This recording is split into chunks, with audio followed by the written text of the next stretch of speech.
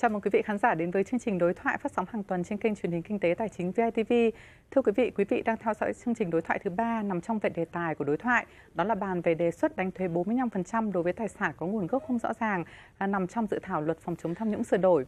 À, trong hai số đối thoại trước thì chúng tôi đã cùng các khách mời đánh giá về đề xuất này cũng như đưa ra một số giải pháp như là công khai minh bạch trên các trang web hay là nguồn gốc gốc rễ của những tài sản như vậy xuất phát từ việc gây khó khăn cho doanh nghiệp như thế nào. Thì cũng rất nhiều ý kiến của các khách mời đã đưa ra trong hai số đối thoại. Và trong số này chúng tôi sẽ tiếp tục cùng các khách mời là các chuyên gia à, về luật về thuế về kinh tế để bàn về đề xuất. À, tham gia chương trình đối thoại tuần này tôi xin được giới thiệu sự có mặt của các khách mời. Ông Phạm Ngọc Hùng chuyên gia kinh tế.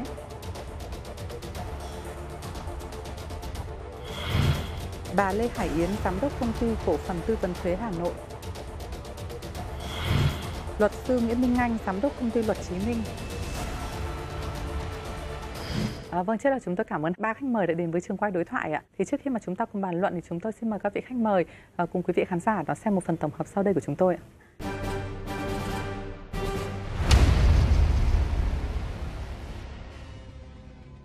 Bây giờ làm trang web rất rẻ tiền dữ liệu có hết rồi, thuê người đánh máy trong vài tháng, bùng hết trên mạng một triệu trường hợp cho dân, ai cũng vào xem được, cả thế giới đều vào xem được. Thì sau khi làm được cái việc đấy dăm, ba năm sau hãng nói đến cái chuyện là đánh thuế hay không, rồi xử lý điều tra thế nào. Còn bây giờ thì tôi khẳng định là sẽ không có tác dụng gì và nó sẽ tác dụng ngược. Nó sẽ rất nhiều vấn đề, sẽ sẽ khó khăn, bức bối, nhức nhối từ cái quy định. Là muốn giải quyết tham nhũng phải có biện pháp và phải chứng tỏ rằng đảng, chính phủ bộ máy công quyền đang quyết tâm chống tham nhũng và nhân dân thì bức xúc. Nhưng nếu xét về lâu dài của bộ luật ấy, thì còn phải để làm sao nó đi vào trong lòng dân thành đạo đức thành văn hóa xã hội thành chuẩn mực của nghề nghiệp. Thì có thể là phải chú ý đến cả những cái chuyện những giải pháp tình thế như chúng ta đánh thuế nhân lên bao nhiêu phần trăm phạt bao nhiêu phần trăm thì chú ý đến yếu tố là dân biết được thông tin dân giám sát. Nên đưa cái cái việc công khai hóa cái thông tin về kê khai tài sản. Bởi vì theo đánh giá của các cái cái nghiên cứu thì cái công khai hóa, cái thông tin về tài sản của công chức nó có một cái tác động rất mạnh mẽ về mặt tương lai. Có nghĩa là nó gọi là xây dựng cái niềm tin của dân chúng đối với chính phủ, đặc biệt là đối với cán bộ công chức nhà nước. Và khi chúng ta xây dựng được cái niềm tin, cái sự tin tưởng ấy thì nó hơn cả là phòng chống tham nhũng. Bây giờ phải có cái cách nào đó, phải có cái biện pháp, giải pháp từ phía cơ quan nhà nước làm sao mà hạn chế cái sự tiếp xúc giữa doanh nghiệp với lại cơ quan nhà nước? Ờ, từ cái nhỏ nhất cho đến cái lớn nhất thì mới giảm được cái cái tham nhũng. Chứ còn tôi nghĩ là ờ, chỉ nhìn những cái chỉ số như thế thì tôi nghĩ là cũng có cái cải cách, nhưng mà về mặt thực tế mà nói thì ờ, tương đối là chậm. Giả soát, kiểm soát và theo một cái quy trình mà minh bạch, công khai, có cạnh tranh, có kiểm tra, giám sát đấy thì chắc chắn bất cứ ai ngồi vào cái vị trí ông quan chức đó cũng sẽ được đưa đẩy đến đến cái hành vi tham nhũng cho nên chúng ta nhìn nhận một cách sâu xa đó là vấn đề cơ chế quy trình, đặc biệt là trong các cái lĩnh vực liên quan đến kinh tế. Bây giờ chúng ta đang có cái định hướng tốt là tinh giản bộ máy, nâng cao hiệu lực hiệu quả. Đáng có chủ trương như vậy thôi, đúng không ạ? Xong rồi thì giải pháp về về tiền lương, có cả nghị quyết trung ương vấn đề đấy rồi nhưng mà để làm rõ ràng, rất cần rất nhiều thời gian. Bây giờ tinh giản tinh giản ai? Đúng không cần cái lộ trình rất nhiều rất nhiều thời gian để mà nói câu chuyện là để người ta không dám. Và rõ ràng nó còn được lợi ích kép là cái cái cái người mà người ta không làm ở cái bộ máy hành chính nhà nước ấy thì người ta ra người ta làm doanh nghiệp người ta lại tạo ra của cải cho xã hội như vậy lợi ích thì ai cũng nhìn thấy nhưng làm là đòi hỏi rất nhiều thời gian À, vâng, phần tổng hợp vừa rồi thì chúng tôi đã trích lại một số ý kiến đáng chú ý của các khách mời trong các số trước. À, thì đầu tiên có lẽ là phải hỏi các khách mời về việc là đánh giá về cái đề xuất này như thế nào và dưới góc độ, góc nhìn của mỗi khách mời. Ạ. Thì trước là tôi xin mời ý kiến của luật sư trước ạ. Vâng, sau khi mà xem cái phóng sự vừa qua thì quan điểm của tôi là tôi cũng hoàn toàn nhất trí à, một số những cái ý kiến của những khách mời ở những số trước à, liên quan đến các vấn đề về công khai minh bạch thì rõ ràng là công tác phòng chống tham nhũng không thể không công khai minh bạch nếu chúng ta chỉ đơn thuần là cái việc là phòng chống tham nhũng ở trong nội bộ cơ quan của chúng ta thì rõ ràng không thể đem lại bất kỳ hiệu quả. Trước đây tôi nhớ là năm 2004 tôi tham gia một cái vụ án ở hang rơi thì toàn bộ cái hải quan của cửa khẩu đấy 54 người toàn bộ bị bắt. Ngay cả bảo vệ cũng liên quan liên tới cái việc đấy. Thì rõ ràng nếu chúng ta chỉ đơn thuần là phòng chống tham nhũng mà chỉ ở trong cơ quan chúng ta, thì chúng ta sẽ không hiệu quả. Ở trong trường hợp này, đơn thuần họ chỉ cần là tất cả những cái việc mà đưa hàng hóa sang biên giới, thì cây câu kiểm hóa, người ta cứ mặc định là đưa một triệu vào cái hòm. Và cuối buổi thì tất cả những cán bộ đấy chia tiền cho nhau. Vụ này đã được xử rồi và sau đó thì một phần tiền dành cho quỹ ăn chơi, một phần tiền dành cho các sếp. Thì rõ ràng công tác phòng chống tham nhũng mà chỉ đơn thuần là nằm trong nội bộ ở một cơ quan hoặc là liên quan đến cấp trên thì rõ ràng nó sẽ không có hiệu quả.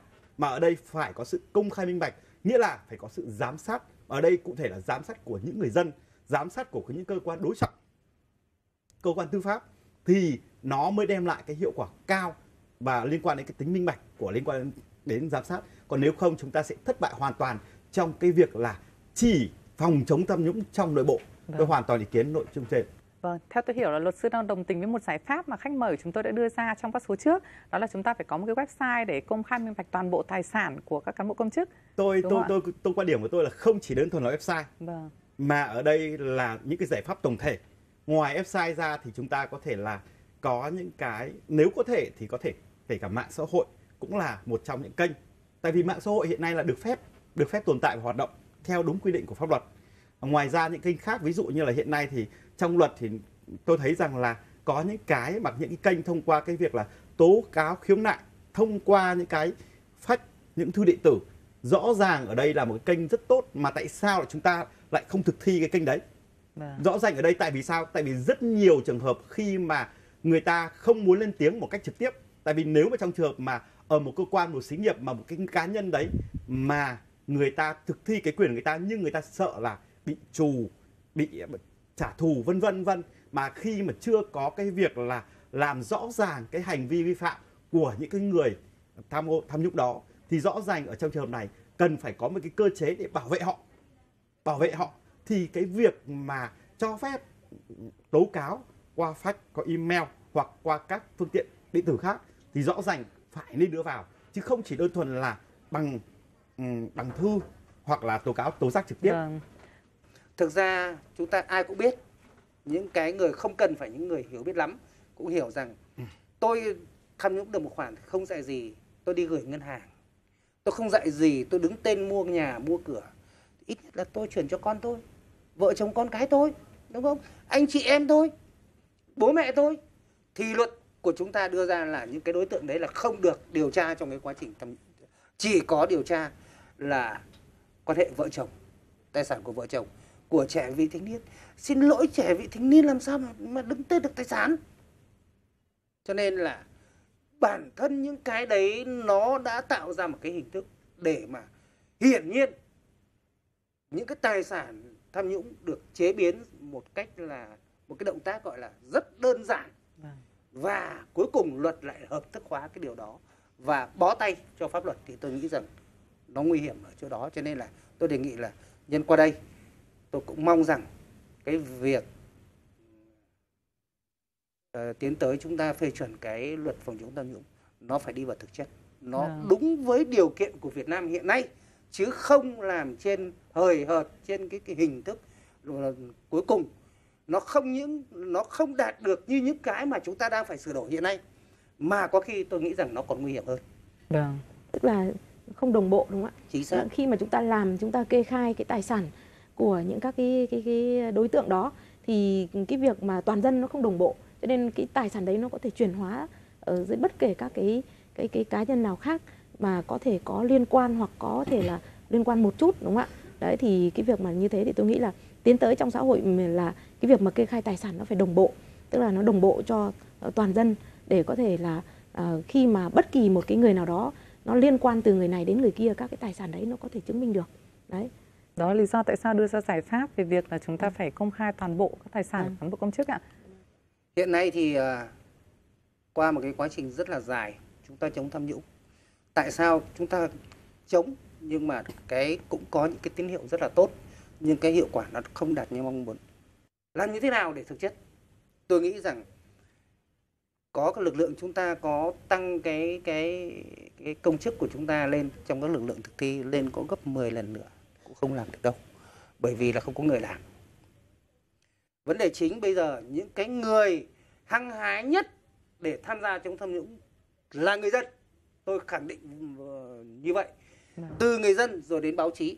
Ờ, ví dụ rõ nhất là trong cái phòng chống tham nhũng vừa rồi ờ, là đến 90% phát hiện tham nhũng đều do người dân và qua báo chí. Cho nên là tôi nghĩ rằng ờ, cái quan trọng nhất là làm sao xây dựng được cái luật để người dân được quyền tham gia sâu vào vấn đề chống tham nhũng. Có như vậy, không có ai có thể thay mất được hàng hàng triệu đôi mắt của của, của cái đôi tai của người dân cả. Cho nên là luật nên hướng đến một cái là mở rộng cái minh bạch đối với tận người dân chứ tránh cái tình trạng chúng ta hời hợt chúng ta hình thức như thế này. Vâng. nghe rằng minh bạch nó có hàng loạt đến ờ, tôi thấy nó 15 16 điều gì đó nhưng cuối cùng chốt lại một câu cuối cùng rất hay là thủ trưởng đơn vị có quyền chọn một hay nhiều giải pháp. Thế thì người ta chọn một giải pháp duy nhất là tôi công bố ở cơ quan tôi. Là xong. Thế thì luật đấy cuối cùng là cũng không thực hiện được thế tôi Vâng. nghĩ là như vậy Luật sư Nguyễn ạ. À, à, hai vị khách mời cũng nêu khá kỹ. Ở đây thì tôi nghĩ rằng là như này. Cái vấn đề xây dựng ở đây là nó là vấn đề tổng thể. Ở đây gồm cả những những giải pháp liên quan đến đến ngăn ngừa và giải pháp liên quan đến phòng chống. Mình phải phân biệt ở đây. Ngăn ngừa như chị đã nói, một trong giải pháp đó là công khai minh bạch cái vấn đề tài sản, ngay cả ngăn ngừa cái việc là khi anh mua tài sản anh phải chứng minh là đấy là tài sản sạch của anh, là dòng tiền sạch của anh, dòng tiền đấy đã nộp thuế hay chưa nộp thuế, dòng tiền đấy được cho tạm hợp pháp đã nộp thuế hay không? Thì anh phải chứng minh được cái việc đấy. Thì lúc ấy anh mới có quyền được mua. Đối với những giải pháp như ở nước một số nước hiện nay đặc biệt là nước nước châu Âu hiện nay nếu không anh không chứng minh được dòng tiền thì anh đừng có mua. Và tôi có thể điều tra ngược lại về anh về cái dòng tiền anh mua. Thế gì rất nhiều những cái giải pháp mà đặt ra. Thì quan điểm của tôi thì nó có những giải pháp ở đây thì nó phải là giải pháp đồng bộ. Mà muốn giải pháp đồng bộ thì chúng ta phải xây dựng không chỉ đơn thuần là luật phòng chống tham nhũng mà phải xây dựng rất nhiều những cái văn bản luật khác. Tôi lấy ví dụ liên quan đến như chúng ta đã được được biết là quốc gia ở Việt Nam như chị đã nêu rằng là à, những cái giải pháp liên quan đến cái việc là là có rất nhiều những tham nhũng gọi là tham nhũng vặt có nghĩa rằng là ai cũng có thể tham nhũng được. Nếu người đó ở những cái bộ phận liên quan đến giả sử tôi nói là liên quan bộ phận cấp phép à, à, cấp phép thì rõ ràng ở đây chúng ta phải xây dựng những cái văn bản pháp luật liên quan đến cái việc là hạn chế những cái thủ tục hành chính làm sao phải minh bạch cái hệ thống đấy và cái chính phủ phải xây dựng chính phủ điện tử? Làm sao mà hạn chế cái sự tác động tiếp xúc trực tiếp giữa con người với con người? Và phải quy định những thời gian ấn định rất rõ ràng, minh bạch. Thì chúng ta mới hạn chế được tất cả những cái tham nhũng vặt đầu tiên là phải muốn làm được cái việc đấy vì phải giải pháp đồng bộ. Và xây dựng ở đây là chúng ta phải đồng bộ hóa tất cả các vấn đề, về vấn đề về luật. Đúng không ạ? Đấy, tiếp theo là chúng ta phải đẩy toàn bộ những cái ngoài cái việc xây dựng chính phủ điện tử ra thì à, và đồng bộ những cái văn bản luật ra thì chúng ta phải đưa ra những giải pháp liên quan đến việc ngăn ngừa. Ở đây có nghĩa rằng là những giải pháp liên quan đến cái việc là đấu tranh phòng chống tham nhũng. Thì rõ ràng ở đây chúng ta phải phải tìm được cái những xây dựng văn bản cơ chế chứ không chỉ đơn thuần là luật phòng chống tham nhũng. Tại vì nếu chúng ta chỉ giải quyết, ở đấy chỉ là giải quyết cái ngọn của vấn đề mà chúng ta không đi từ cái gốc của vấn đề ngăn chặn nó. Gốc vấn đề đó nghĩa rằng là tại tham nhũng ở chỗ nào, ai là bộ phận tham nhũng mà tại tìm cách làm sao để triệt tiêu cái đấy thì mới là đưa ra một giải pháp mà về mặt lâu lâu dài bền vững nếu chúng ta chỉ đơn thuần là bàn 45% bàn là ai xử lý thì chúng ta sẽ không giải quyết bất kỳ một cái gì cả Vâng. vâng mà chờ những giải pháp đồng bộ chờ tất cả các thứ nó đều đi theo một cái khuôn khổ thì có lẽ là cũng rất là khó chúng ta vẫn phải đưa ra những cái giải pháp rất là cụ thể Vâng, tôi à, nghĩ là thế này. Ờ, tất cả các luật, bộ luật hình sự, tất cả các thứ đã phê chuẩn xong rồi. Ừ. Luật an ninh mạng, tất cả các thứ. Thế thì uh, kế tiếp cái cái ờ, cái tôi vừa trao đổi, tức là cái luật chống tham nhũng phải làm sao để người dân tham gia được rất sâu. Mà muốn được người dân tham gia sâu thì bản thân có một cái luật mà chú, lúc nãy luật sư vừa nói mà tôi cũng rất là lan tăn là luật khiếu nại tố cáo. Hiện nay luật khiếu nại tố cáo không chấp nhận hình thức thư nặc danh, không chấp nhận hình thức qua điện thoại, không chấp nhận hình thức qua email Ờ, điện tử, tin nhắn, vân vân. Tức là anh phải ký vào đấy, anh phải có địa chỉ đàng hoàng, anh đến gặp tôi hoặc là rất là rõ anh là người thật.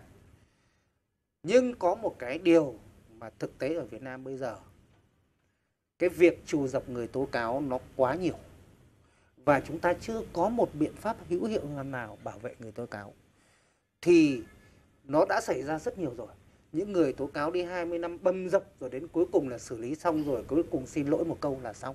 Và cuối cùng là người ta cả một cái cuộc đời người ta bầm dập như vậy. Thì uh, tất cả chúng ta đều con người cả. Không ai muốn vì một cái việc tố cáo rồi lại dẫn đến là tán ra bại sản rồi là bị đánh đập rồi bị trù dập kể cả là nguy hiểm đến tính mạng nữa. Cho nên là dẫn đến là nếu chúng ta làm như vậy thì chúng ta vô tình hay hữu ý chúng ta lại chặn nhân dân để mà tố cáo. Thì như thế từ cái luật đó nó dẫn đến cái luật chống tham nhũng. Người dân được không được tham gia.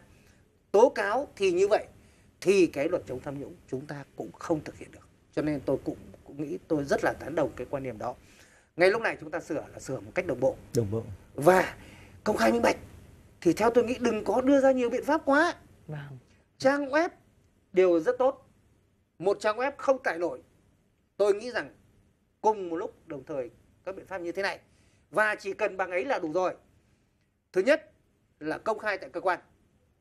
Thứ hai là công khai tại nơi cư trú. Thứ ba là đưa lên cổng thông tin điện tử của ban ngành. Thứ năm là đưa vào cái trang web như là các đại biểu số trước nói. Vâng. Đưa lên cổng và thông tin điện tử cũng chính sáu nữa là công khai trên phương tiện thông tin đại chúng. Tất nhiên chúng ta không làm tràn lan. Làm tràn lan chúng ta chả có sức đâu chúng ta làm. Chúng ta chọn điểm. Bởi vì chúng ta cứ làm ở nước ngoài cũng vậy thôi. Người ta chọn lấy một điểm nào nóng nhất người ta làm trước. Sau đó nó lan rộng ra. Thì Vâng. khi nó đã thành cái cái ý thức của người dân tham gia sâu vào người dân tố cáo được với mọi hình thức đều được xem xét. Tôi nghĩ như vậy.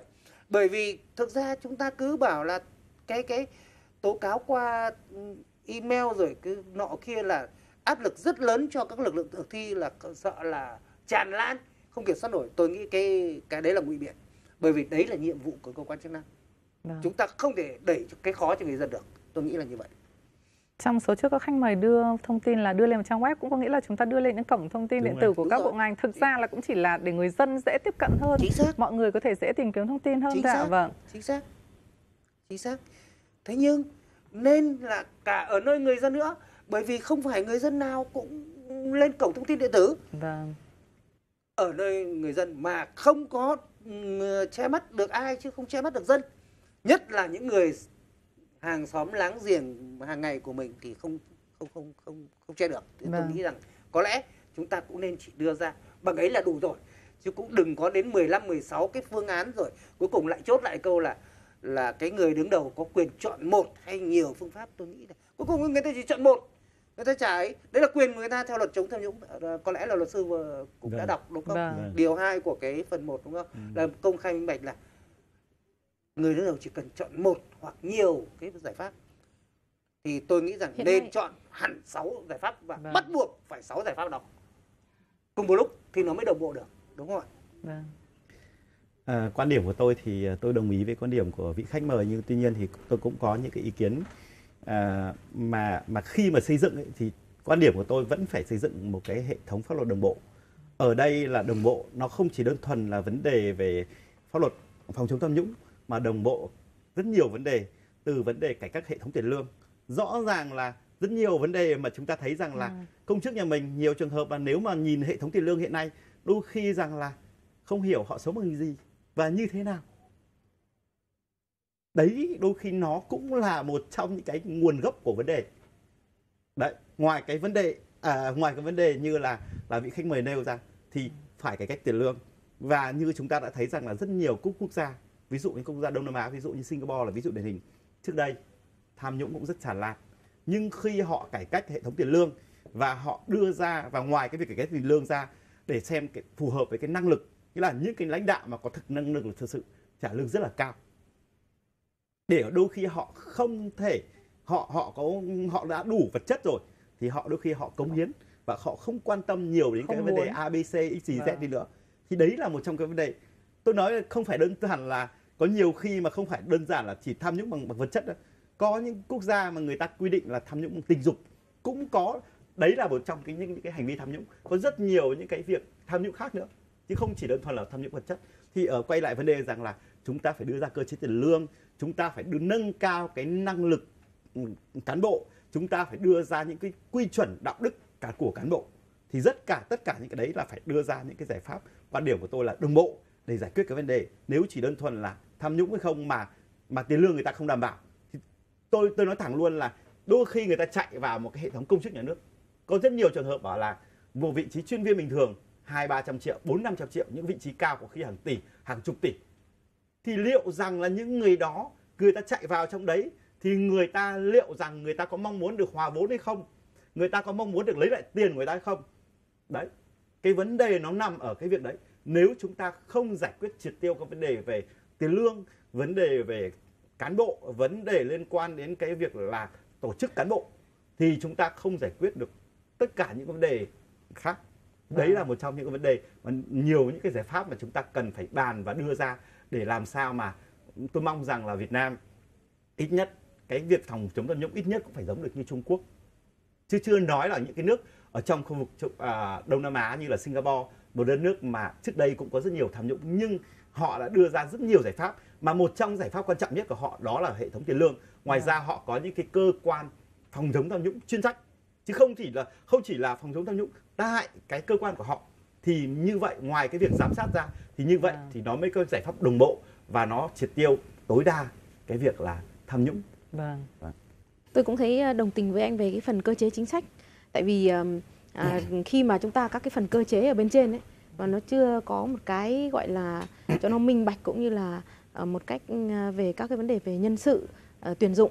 Đấy thì cái việc mà khi ờ, người ta bỏ một cái khoản tiền để người ta chạy trọt chẳng hạn thế thì bắt buộc người ta cũng phải tìm cách để người ta lấy lại chẳng hạn thế thì đấy cũng là một cách ảnh hưởng đến cái việc mà gây ra ừ, gây ra cái việc mà tiêu cực trong cái vấn đề tham tham nhũng. Vâng. Đấy. Ngoài ra thì tôi thấy là ờ, cái việc ờm, đồng bộ cái nếu mà mình đưa ra tất cả những cái mà để tập trung để mà xử lý hết một lúc thì nghe chừng là nó cũng rất là khó. Đấy thì chúng ta phải chọn và chúng ta làm khoanh vùng từng khu vực. Ví dụ bây giờ chúng ta thấy là tham nhũng nó tập trung ở đâu? Đấy, tập trung ở chỗ nào? Thì chúng ta phải làm đầu tiên chúng ta có thể làm thí điểm mô hình. Đấy, thí điểm mô hình sau đó thì uh, chúng ta nếu mà chúng ta cảm thấy rằng là nó nó tốt rồi thì chúng ta có thể nhân rộng chứ không thể là tập trung toàn bộ 2 triệu ở cán bộ chẳng hạn thế mà chúng ta đi làm một lúc cả 2 triệu cán bộ là nghe là cái cái con người để thực thi cái việc đấy nó cũng khó thì chúng ta có thể là khoanh vùng đấy từng từng từng cái cái cái khu vực một để chúng ta đưa ra chúng ta làm mẫu. Đấy chúng ta nhân sau khi chúng ta thành công cái mô hình đấy rồi thì chúng ta nhân rộng nó ra. Đấy, thì tôi nghĩ là nó cũng cũng, cũng là một cách. Tôi cũng bổ sung thêm ý kiến của chị. À, là cái việc khoanh vùng là rất quan trọng tại vì là hiện nay chúng ta nhìn thấy rằng là bộ phận nhũng nhiễu nhiều nhất ở đâu? Đầu tiên là những bộ phận cấp phép. Cấp phép kinh doanh cấp phép liên quan nhà đất. Rõ ràng là cấp phép những cái giấy phép con. Thì ngoài cái việc là đấy như tôi đã nói rằng là chúng ta phải thay đổi những văn bản luật đấy phải chính phủ phải làm sao phải xây dựng được chính phủ điện tử làm sao rõ ràng tất cả các việc đấy thì không có sự tiếp xúc với người với người thì làm sao có sự tham nhũng? Đúng không ạ? Đấy thì đầu, đầu tiên là là là phải liên quan đến cái vấn đề đấy. Và những cái những cái những cái vùng trọng điểm ví dụ như là những cái cơ quan cấp phép những liên quan đến ờ, giáo dục liên quan đến y tế đấy là những vấn đề mà chúng ta thấy rằng là nhức nhối trong thời gian vừa qua thì chúng ta phải khoanh vùng những cái mà thuộc những cái lĩnh vực ngành nghề mà có thể là cái bị nhũng nhiễu nhiều nhất. Ngoài ra thì quan điểm của tôi, ngoài cái việc đấy, đôi khi rằng là chúng ta nói rằng là chúng ta không có hệ thống công chức cái gì, thì tại sao chúng ta không xã hội hóa những cái dịch vụ hành chính công? Trước đây tôi thấy rất là nhiều những cái việc xã hội hóa hành chính công là rất được. Trước đây ví dụ như là bảo công chứng. Công chứng, ngày xưa chỉ có công chứng nhà nước. Chúng ta đôi khi phải xếp hàng đến cả cả ngày rời để đi để công chứng được cái nhà đất chúng ta. Bây giờ chúng ta có thể ngồi nhà và gọi công chứng đến tận nơi. Và phí dịch vụ rất là rõ ràng thế thì chúng ta phải cải cách được cả những vấn đề về ờ, về về các dịch vụ công. Nghĩa là chúng ta đẩy hết vào những cái khối nếu không phải là những vấn đề trọng yếu liên quan đến an ninh quốc phòng à, liên quan đến bảo mật vân vân thì chúng ta nên xem xét là chuyển những cái dịch vụ hành chính Vâng. liên quan đến chuyển sang dịch vụ tư.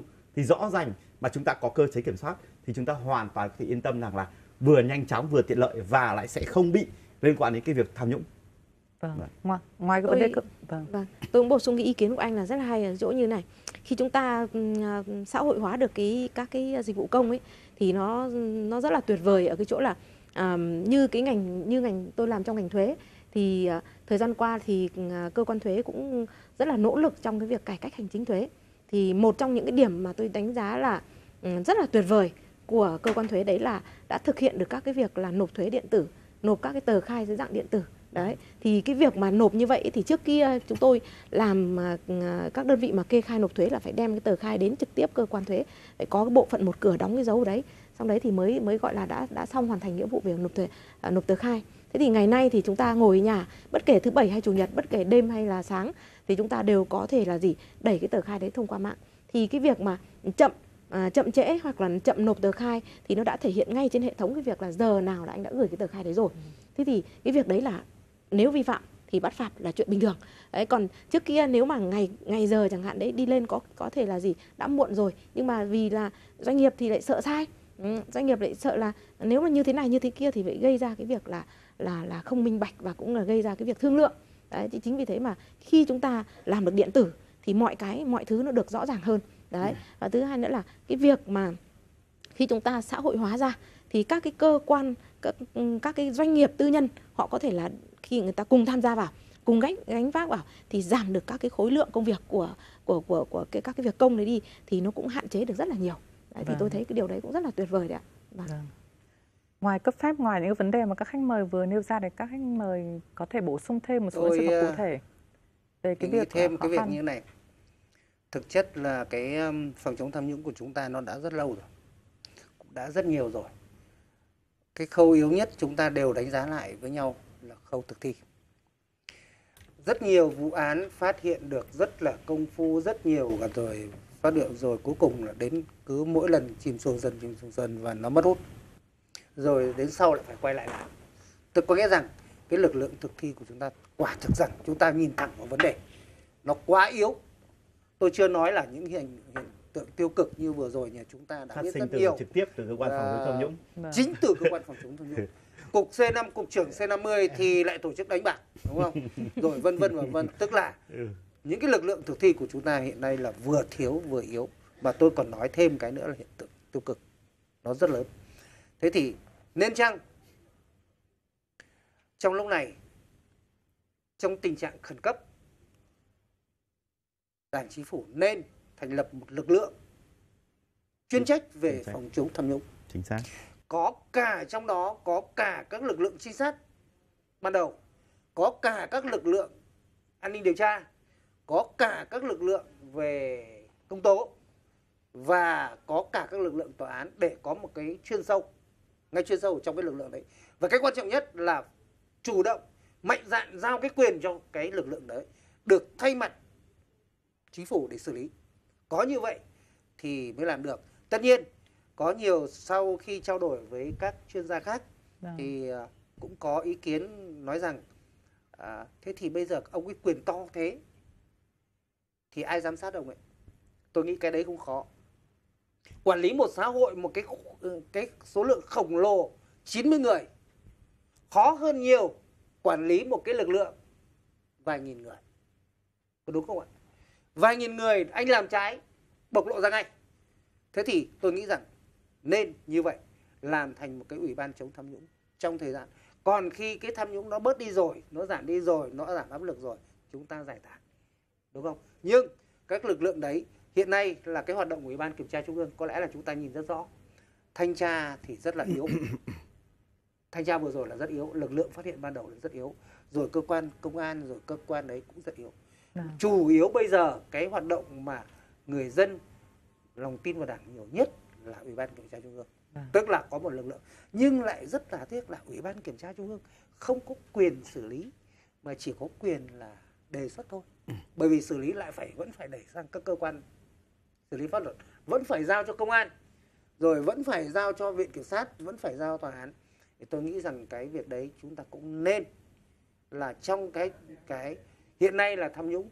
Như là là đồng chí Nguyễn Phú Trọng tổng bí thư nói rồi tham nhũng bây giờ là giặc giặc nội xâm mà nó còn rất là nguy hiểm thì cũng nên rằng có các lực lượng chuyên trách thành lập một cái ủy ban luôn chống tham nhũng nó hoạt động hoàn toàn đầy đủ quyền lực chứ không phải là cái ủy ban đấy chỉ làm cái mức độ là tham mưu tư vấn tôi nghĩ là không giải quyết được mà Vâng. cái lực lượng đấy phải tôi nghĩ rằng là là mô hình của ủy ban kỷ luật trung ương của Trung Quốc hoạt động cực hay có lẽ rằng áp dụng với Việt Nam là hợp lý. Cái lực lượng đấy nó có quyền bắt giữ. Lực lượng đấy bắt có quyền bắt giữ có quyền điều tra. Và sau đó khi đùi điều tra đầy đủ rồi thì chuyển cơ quan tòa để xét xử. Thì tôi nghĩ rằng mô hình đấy ở Việt Nam hiện nay tôi nghĩ rằng là nên làm như vậy thì cái năng mới nâng được cái năng lực cái cái cái cái cái thực thi của chúng ta nó lên một cái bước nữa. Tôi nghĩ là như vậy. Vâng để bàn về các giải pháp cho cái vấn đề phòng chống tham nhũng là có lẽ là rất nhiều các giải pháp. Tuy nhiên đó là lý do tại sao chúng tôi vẫn muốn tập trung vào cái vấn đề của doanh nghiệp à, tập trung vào vấn đề là công khai minh bạch thông tin những cái giải pháp mà chúng ta có nhìn thấy nhìn thấy nhìn thấy tất cả người dân đều có thể tham gia vào được tất cả doanh nghiệp đều có thể tham gia vào giám sát. Thì chúng tôi xin quay trở lại một chút về cái câu chuyện là cái nguồn gốc tài sản này cũng từ những cái hành vi gây khó khăn gây nhũng nhiễu cho doanh nghiệp như là luật sư vừa nói thì ngoài cái việc là um, cấp những cái giấy chứng nhận này rồi um, giấy phép con rồi một số những cái thủ tục hành chính. Thì còn những cái trường hợp nào mà đang gây khó khăn nhũng nhiễu thậm chí những tình trạng tham nhũng vặt đang phổ biến hiện nay đối với doanh nghiệp không ạ? dưới góc nhìn của luật sư với góc nhìn của những người làm tư vấn về thuế. Thực tế cho thấy rằng là chúng tôi thấy rằng là với tư cách là một cái người mà làm lâu năm trong lĩnh vực tư vấn trong doanh nghiệp thì ngoài cái việc cấp giấy phép ra thì cái khâu kiểm tra doanh nghiệp là rất nhiều vấn đề. Có những doanh nghiệp người ta kêu rằng là người ta chỉ bỏ ra năm sáu người thuê để là gì? Chỉ để tiếp đoàn chỉ để các tiếp đoàn là tiếp đoàn hết đoàn A đoàn B đoàn C đến kiểm tra doanh nghiệp. Thì mà đấy đấy là một trong những cái vấn đề mà tôi nghĩ rằng là Nhiều nếu chúng ta không phải. làm đồng bộ được thì chúng ta sẽ thất bại. Một doanh nghiệp như vậy thì làm sao mà tạo ra tính cạnh tranh? Làm sao người ta yên tâm để làm việc được? Mà theo quy định của pháp luật thì đối với luật thì thực ra nó cũng có ngay cả việc thủ tướng chính phủ cũng nói ờ, là doanh nghiệp một năm chỉ kiểm tra một lần thôi. Nhưng mà thực tế cho thấy rằng là không phải như vậy. Và đôi khi các đoàn kiểm tra liên ngành thì liên tục đôi khi nó còn trồng chéo nhau ở một lĩnh một số lĩnh vực. Thì rõ ràng ở đây chúng ta muốn làm được cái việc đấy thì chúng ta tôi vẫn quay lại cái giải pháp.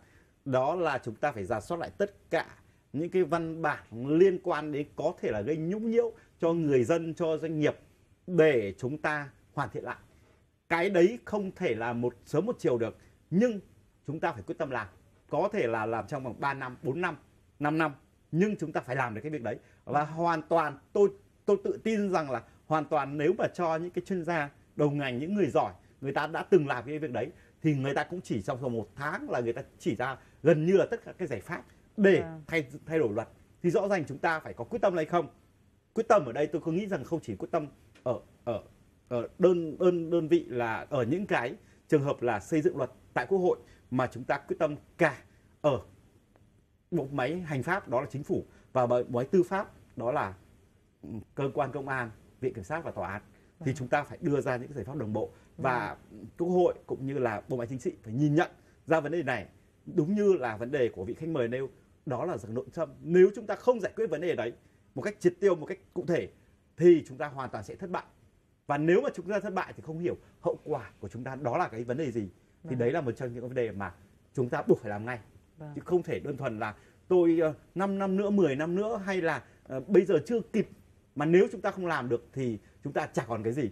Chúng ta nhìn nhận là vấn đề là tất cả cơ quan cấp phép ví dụ như là tôi lobby tôi được dự án A dự án B tôi lobby tôi để được à, mảnh đất này tôi lobby để tôi mua một cái đất để giá rẻ biến một con voi thành con kiến.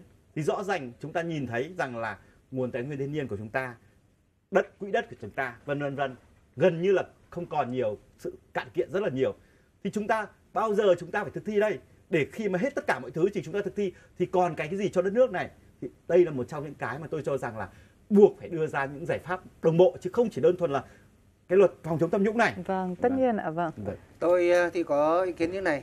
À, theo tôi cũng rất là nhất trí với ý kiến của luật sư. À, thực ra không phải chúng ta không làm, chính phủ ừ. đang làm cải cách vâng. tiền lương, rồi nghị quyết 1935 ừ.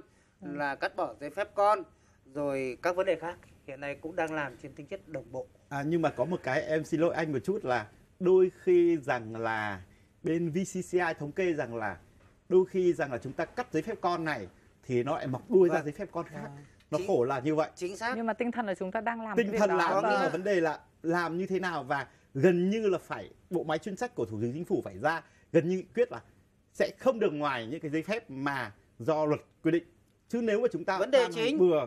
bây giờ nó không vâng. phải ở chỗ đấy. Vâng. Chính phủ quyết tâm vâng. mọi người đều quyết tâm. Vâng. nhưng bộ các, các bộ các ngành nó không làm. Ai làm? Và có chế tài nào để xử lý cái người không làm không? Chưa có chế tài nào để xử lý các người không làm. Đến bây giờ bộ công thương rồi vân vân các thứ còn các bộ khác chìm đóng chưa lạnh Ừ. còn đóng băng. Không những không những là cắt giảm cái lâu dâu ria lại còn sửa lại còn tăng tăng thêm. tăng thêm hơn. Vâng. Cái vấn đề đấy tôi nói ở đây vấn đề là chính phủ thì quyết tâm. Vâng. Nhưng vấn đề chúng ta yếu nhất bây giờ không phải ai không ai ờ, không biết điều đó. Phải đồng bộ phải tăng lương vâng. phải cắt bỏ giấy phép con phải xóa bỏ cái A cái B cái C. Vấn đề chúng ta ở đây cái khó nhất là chúng ta chưa có chế tài xử lý những cái người không chịu làm. Đấy là cái thứ nhất. Cái thứ hai là phải luật phòng chống tham nhũng phải thêm một cái chế tài nữa là anh không làm những cái việc đúng trách nhiệm của anh thì anh phải bị xử lý như thế nào. Bởi vì tham nhũng bây giờ nó không còn ở là cái chuyện lách luật nữa mà nó còn tôi nói rằng nói như thế không biết là có quá không? Cái một các nhóm lợi ích đang thâu tóm. Thâu tóm thì đã là đương nhiên. Ừ, ừ. còn có điều chỉnh bằng luật. để xây dựng luật. Xây dựng luật. Xây dựng luật. Ừ, nó rất là rõ. Ừ. xây dựng luật đấy để tạo ra tạo kẽ lợi hở thế. tạo ra hình thức để mà bám vào đấy để tham nhũng. Từ luật khiếu nại tố cáo cũng có vấn đề rồi luật phòng chống tham nhũng cũng tính chất hình thức rồi vân vân vân vân. Thế tôi hỏi là người dân không dám tố cáo thì lợi cho ai?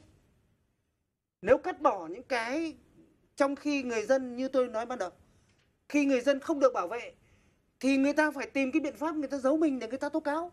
Thì anh không chấp nhận. Đúng tức rồi. là bịt mồm. Vâng. tôi nói rõ luôn đây là bịt mồm. Đồng thời với việc đó thì chống tham nhũng lại hình thức. Không xem xét đến những mối quan hệ. Tôi nghĩ rằng đã là có dấu hiệu điều tra về chống tham nhũng điều tra tất cả các mối quan hệ chứ không là gói gọn trong một mối quan hệ nào. Bởi vì tham nhũng bây giờ rất tinh vi. Họ không đứng những đứng ở chồng vợ không đứng ở con. Anh em họ hàng đấy như như luật sư vừa nói lái xe đứng thay người nước ngoài. Người nước ngoài nữa. Đúng rồi. Bạn bè ở nước ngoài. Tôi khẳng định là có và có rất nhiều thế thì chúng ta bỏ qua. Cho nên quan điểm tôi là không nên không nên gói gọn lại là xem xét đến đến đâu. Mà khi có khi có dấu hiệu tham nhũng thì phải được xem xét tất cả các mối quan hệ. Vâng. thì chúng ta mới mới mới chống được tham nhũng.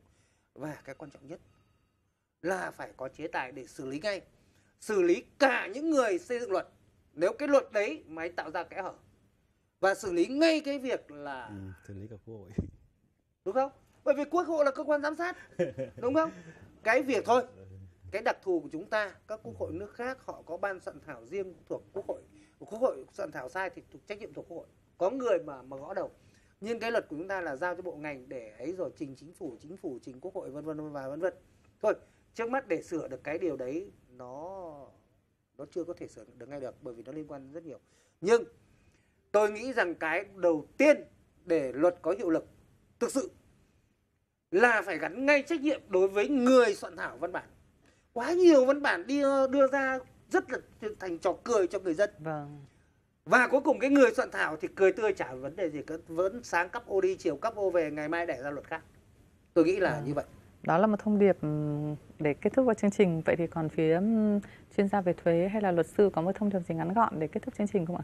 cái việc mà chúng ta um, cùng nhau để tìm ra một cái giải pháp um, tốt nhất để có thể uh, phòng tránh được thì mọi người cũng đã đưa ra rồi đấy thì trên cái tinh thần là chúng ta phải tiếp tục các, các cái bước cải cách về à, các cái thủ tục hành chính cũng như là cải cách các cái vấn đề điện tử hóa à, chính phủ cũng như là cải cách về các cái à, thủ tục hành chính công rồi ờ, chúng ta ừm, sẽ tiếp tục cái việc mà ờ, làm sao để kê khai một cách minh bạch về các vấn đề tài sản. Và à, chúng ta ừ, yêu cầu cái cái cái là cái phần mà khi mà chúng ta kê khai ấy, thì là nó chỉ là một cái phần để chúng ta ừ, theo dõi. Và khi đến khi chúng ta cái người các cái đối tượng mà họ mua tài sản đấy thì tôi vẫn muốn nhấn mạnh cái việc là khi mà mua một cái tài sản thì cần phải chứng minh được cái dòng thu nhập là Ừ. trong sạch vâng thì tôi cũng mong muốn là dưới góc độ của chuyên gia về thuế ạ. Thế còn luật sư sao ạ? À, thực ra các giải pháp thì chúng tôi đã nêu rất là nhiều rồi thì chúng tôi cũng chỉ là như thế này. À, ở đây nó liên quan đến công tác xây dựng pháp luật là công tác rất là quan trọng. Nó ảnh hưởng rất sâu rộng đến toàn bộ đời sống kinh tế xã hội. Thì với từng đại biểu quốc hội mình, với cái lương chi của mình là người những người mà được nhân dân bầu lên và nhân dân tin tưởng thì chúng ta phải xây dựng luật cho nhân dân chứ không phải xây dựng luật cho chính phủ hoặc là cho quan chức nào đó. Nếu chúng ta không làm việc đó thì chúng ta sẽ thất bại trong việc thực thi pháp luật. Mà ở đây công hợp này là thất bại trong việc phòng chống tham nhũng. Vâng ạ. À, xin cảm ơn ba vị khách mời ạ. À, thưa các khách mời, với cái đề tài về đầu tiên là từ một cái đề xuất rất là cụ thể nằm trong cái dự thảo về luật phòng chống tham nhũng sửa đổi thì chúng tôi cũng đã các khách mời cũng đã đưa tới rất nhiều cái giải pháp về việc phòng chống tham nhũng nói chung rồi đến câu chuyện của doanh nghiệp những cái khó khăn của doanh nghiệp rồi cải cách hành chính cải cách tiền lương rất là nhiều vấn đề. Và nếu khách mời đã theo dõi đối thoại thì có thể thấy là suốt những năm chúng tôi thực hiện các chương trình thì rất là nhiều những giải pháp chúng ta bàn đều đã được đưa ra. Vấn đề quan trọng là chúng ta đã thực hiện như thế nào chúng ta có thực hiện hay không và có đạt được cái kỳ vọng mà mọi người mong đợi hay không thì chúng tôi biết rằng là ờ, các khách mời cũng rất là tâm huyết về đề tài của đối thoại thì chúng tôi hy vọng là thêm một số những cái giải pháp thêm một số những thông tin mà chúng ta cung cấp thì cũng có thể giúp những người làm chính sách làm ờ, suy nghĩ thêm về các ờ, giải pháp cách thức thực hiện và giúp doanh nghiệp nói lên được tiếng nói của mình và giúp khán giả của chúng tôi cũng thể giải đáp rất là nhiều những cái thắc mắc liên quan đến chủ đề của chúng ta ngày hôm nay. Thì chúng tôi xin cảm ơn ba vị khách mời đã rất là tâm huyết chia sẻ với chương trình đối thoại. À, xin chúc các khách mời có thật nhiều sức khỏe để tiếp tục đồng hành cùng chúng tôi trong các đề tài đối thoại tiếp theo ạ. À, chúng tôi cũng rất cảm ơn sự quan tâm theo dõi của quý vị khán giả. À, quý vị có thể theo dõi các chương trình đối thoại cũng như các việc đề tài mà đối thoại đã thực hiện à, trên website kênh truyền hình VITV à, www.vitv.vn. À, xin kính chào và xin được gặp lại quý vị trong các chương trình đối thoại tiếp theo ạ.